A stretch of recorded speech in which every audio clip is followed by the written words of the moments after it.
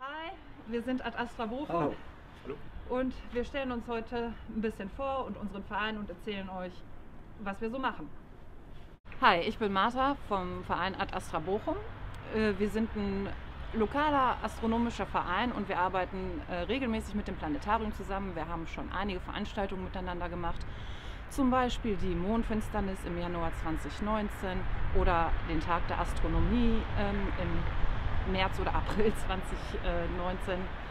Dann haben wir noch eigene Veranstaltungen, die wir gerne machen, zum Beispiel auch die Mondfinsternis auf dem Tippelsberg, das war im Juli 2018. Und ja, arbeiten gerne und viel mit dem Planetarium zusammen. Ja, hallo, ich bin Oliver und äh, ja, ich bin im Verein Ad Astra derjenige, der sich so ein bisschen um die Geräte kümmert und die wollen wir euch gleich auch mal so vorstellen, was da so für verschiedene Sachen so gibt. Ja, und das schauen wir uns dann gleich mal an. Hallo, mein Name ist Christian, ich äh, bin das jüngste Mitglied äh, und äh, bin eigentlich so für IT das zuständig und mache so ein bisschen auch Au- Außenarbeit und ähm, werde auch gleich so ein bisschen die Teleskope vorstellen. Hallo, ich bin Oliver, der zweite Oliver im Verein. Bin Gründungsmitglied des Vereins Ad Astra, das seit 20 Jahren besteht mittlerweile. Mittlerweile auch Geschäftsführer und äh, mein Hobby im Hobby ist die Astrofotografie, die ich euch auch irgendwann mal in einem weiteren Betra Beitrag vorstellen möchte. Ja, mein Name ist Helmut Lüdecke, ich wohne in Hattingen und bin äh, seit äh, ja, über zehn Jahren Vereinsmitglied. Und äh, Michael Geißler, äh, als ich meinen Antrag stellte, da habe ich auf einen Fehler im äh, Formular hingewiesen. Da meinte er, man hätte auch schon äh, Anträge auf dem Bierdeckel entgegengenommen. Das ist so jetzt, über zehn Jahre her. Heute wollen wir mit einer Serie starten, in der wir euch Teleskope vorstellen. Unterschiedliche Bauarten, unterschiedliche Montierungsvarianten. Gerade in der Vorweihnachtszeit ist es ja ein Geschenkethema. Leider muss man sagen, dass der Markt momentan ziemlich abgegriffen ist. Nichtsdestotrotz äh, möchten wir euch gerne einige Dinge vorstellen. Vielleicht könnt ihr ja im Internet stöbern, auch bei eBay oder so. Und das entsprechende Gerät für euch finden. Es gibt ähm, so zwei gängige Arten von ähm, Teleskopen. Natürlich gibt es mehr, aber bei uns lernt ihr jetzt in dieser Serie ähm, ein Newton kennen und ein Refraktor. Das hier ist äh, ein gutes Beispiel für ein Newton-Teleskop. Das ist gleichzeitig von Dobson. Und ähm, was wichtig ist bei diesen äh, bei, bei den ganzen Teleskopen sind auch die Montierungsvarianten. Hier seht ihr eine azimultane Montierung, darauf den Refraktor und hier drüben zum Beispiel seht ihr eine parallaktische Montierung. Was es damit auf sich hat, wofür welche Montierung besser ist, das werden wir euch in unserer Serie oder im Laufe unserer Serie. Wir werden häufig gefragt, warum sehe ich hier im Ruhrgebiet nicht so viele Sterne? Warum muss ich immer weiter rausfahren und vor allen Dingen, wohin sollte ich fahren, wenn ich wirklich mal was sehen will astronomisch? Und dazu gibt es eine Karte, die der Olli uns vorbereitet hat. Das ist die Lichtverschmutzungskarte. Olli, erzähl mal, was sieht man auf dieser Karte? Also das ist eine Karte, die wurde von Satelliten aufgenommen, also mehrere Teilaufnahmen. Auf der Karte sieht man einen Teil von Europa, unter anderem auch, wo wir uns befinden, das ist ungefähr hier. Ähm, man sieht eigentlich, dass äh, es bei uns ähm, gar nicht so schlecht ist, aber äh, im Vergleich jetzt zum Beispiel zu Paris oder hier Holland oder Belgien, ähm, da sieht es viel, viel übler aus, weil wir können uns zum Beispiel in Richtung äh, Norden bewegen, also Münsterland, Haltern, die Ecke oder auch ins, ins Sauerland.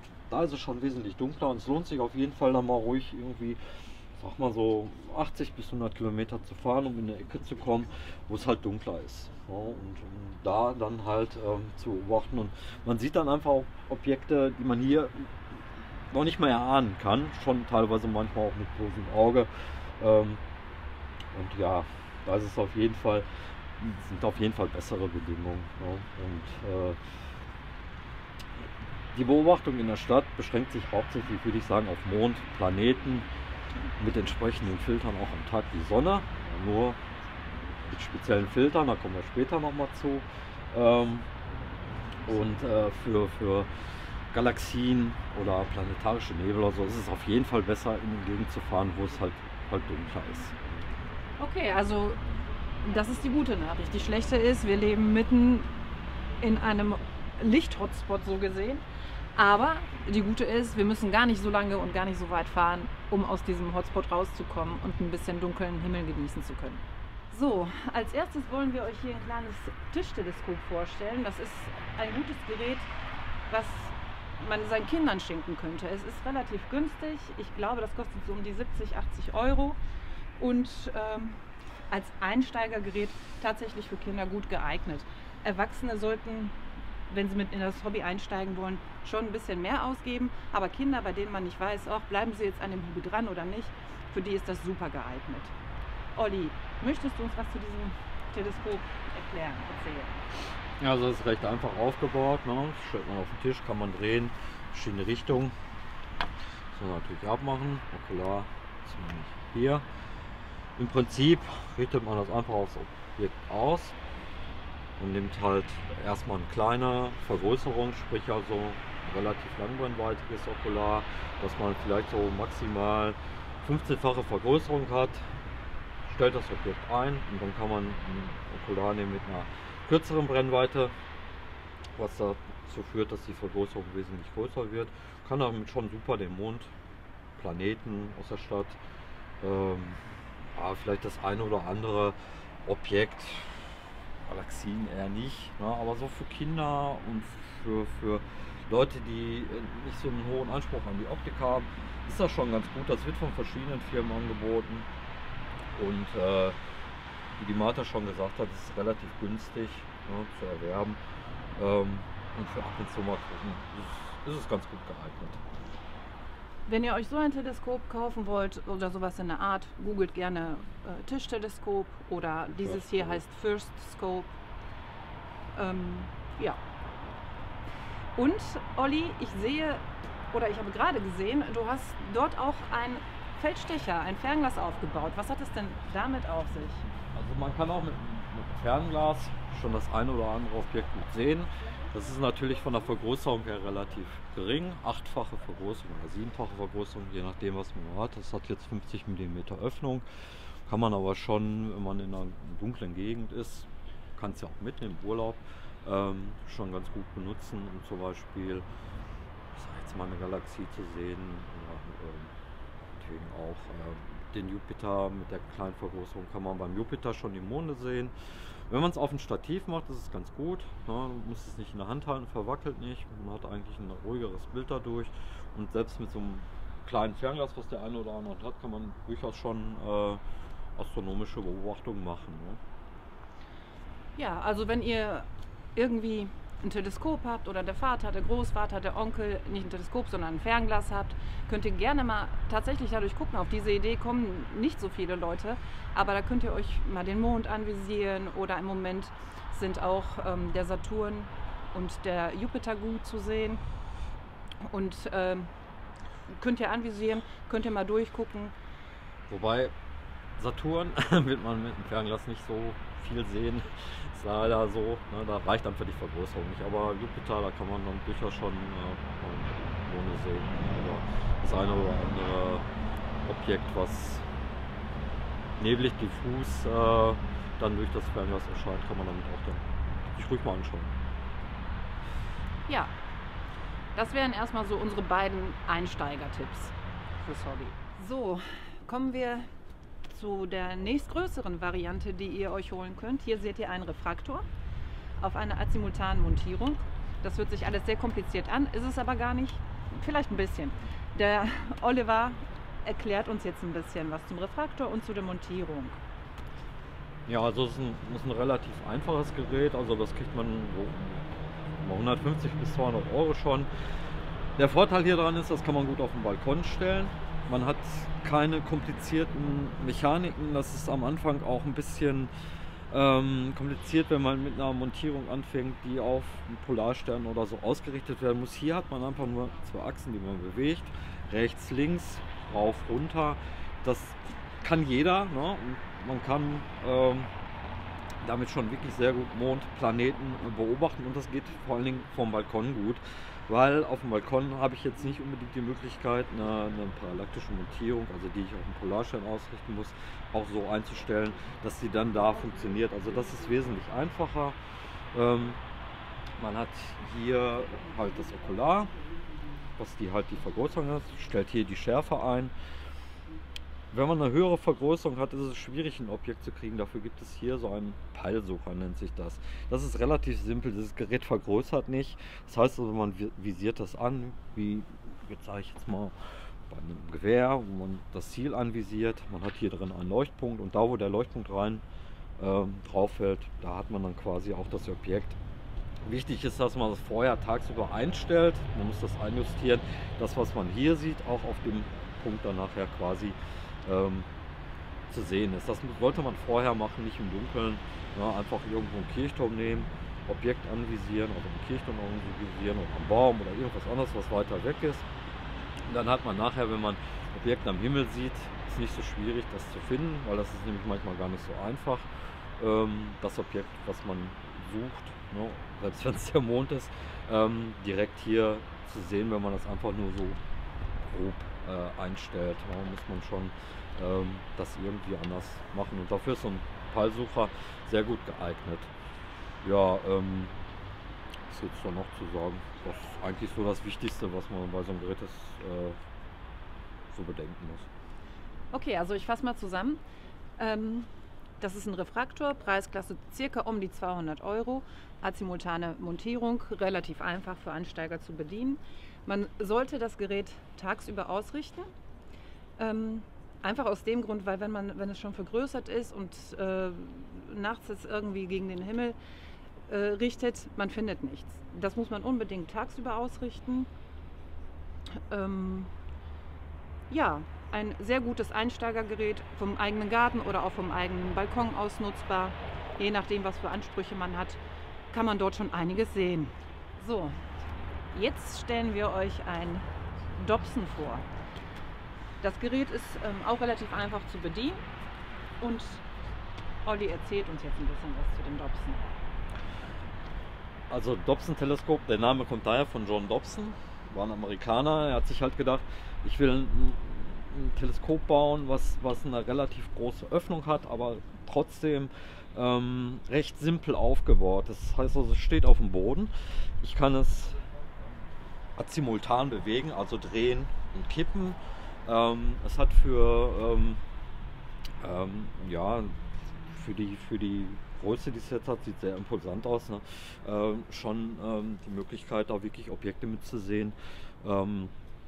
Sonst nicht erschließen. Und das finde ich noch ist relativ äh, handlich. Also man kann es ins Auto parken, mal rausfahren, wo es ein bisschen dunkler ist und da aufstellen und dann wirklich ähm, ja auch schon, sag ich jetzt mal, Galaxien sehen ja, oder, oder Nebel, planetarischen Nebel. Dafür ist das sehr gut geeignet. Und hier ist jetzt ein, ein äh, kein, äh, so wie jetzt äh, bei dem Refraktor ist es ein normaler Sucher drauf, kein, kein Leuchtpunktsucher. Aber auch hier würde ich auf jeden Fall empfehlen, einen Leuchtpunktsucher zu nehmen, weil es dann wesentlich einfacher ist, ähm, das Objekt zu finden, als wenn man jetzt so ein, so ein ähm, kleines Fernrohr hier oben drauf hat.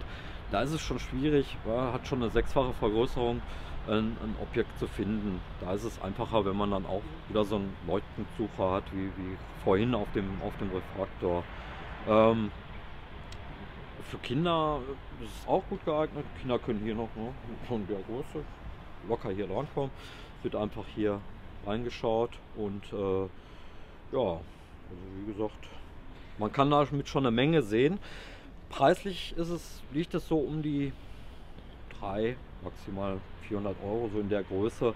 Äh, und man bekommt schon eine Menge Teleskop fürs Geld und es ist, wie gesagt, auch unkompliziert. Für einen Balkon ist es nicht so gut geeignet, weil, äh, wie man sieht, steht auf dem Boden, müsste dann über die Brüste schon schauen können. Ähm, sollte man schon irgendwie einen Garten stellen, auch auf einer Dachterrasse. Auf jeden Fall, wo man diese äh, Einstellmöglichkeit dann nutzen kann, was sonst nicht geht. So.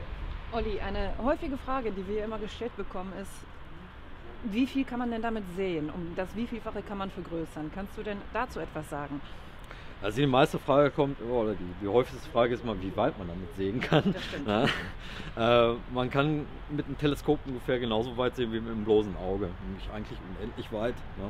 Die Frage ist natürlich, wie hoch kann ich äh, vergrößern oder müsste sein, wie hoch kann ich vergrößern.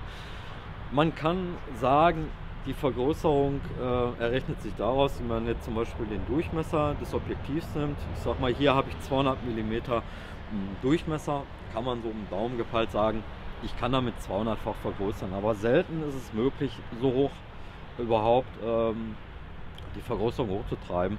Ähm, ich sag mal so 100-fache Vergrößerung ist so meistens das Maximum, weil einfach die, die Luftunruhe mit vergrößert wird, ich ein sehr unruhiges Bild bekomme und das Beobachten dann einfach ähm, nicht mehr schön ist. Also es ist oft so, dass ich mit einer kleineren Vergrößerung äh, mehr sehe, weil ich auch ein größeres Gesichtsfeld habe.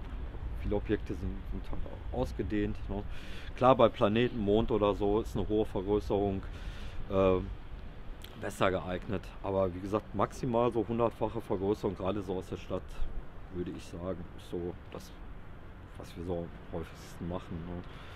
Okay, Dankeschön. Also, wir kommen jetzt zu den etwas besseren Geräten. Also wer mit den Teleskopen gerade eingestiegen ist und ein bisschen schon bei dem Hobby dabei geblieben ist, der kann sich als nächstes dann um so ein Teil kümmern. Wir sehen hier einen Refraktor auf einer parallaktischen Montierung. Der Spezialist dafür, Oliver Aders, wird uns jetzt ein bisschen was dazu erklären. Vor allen Dingen parallaktische Montierung, Olli. Was hat es damit auf sich? Ja, also der große Vorteil ist erstmal, man sieht es ja schon auf den ersten Blick, gegenüber den Teleskopen, die wir vorher gesehen haben. Es ist schon größer, massiver das Ganze. Ne? Es ist sehr stabil, es wackelt nicht mehr so. Ne? Es trägt auch viel mehr Gewicht, 10 Kilo teilweise. Und der große Vorteil ist, wenn man es einmal ausgerichtet hat, diese Achse hier auf dem Polarstern. Und wir, sind, wir haben hier zwei Motoren drin. Einer für die Deklination, quasi für die Höhe. Und hier einmal für die Stundenachse, für Direkttersention.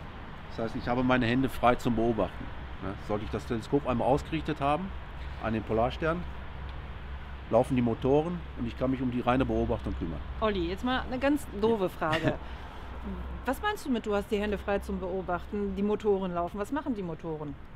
Also es macht ein Motor, und zwar der für die Stundenachse, der gleicht die Erddrehung aus. Ah. Der hat quasi, der ist auf die Geschwindigkeit abgestimmt.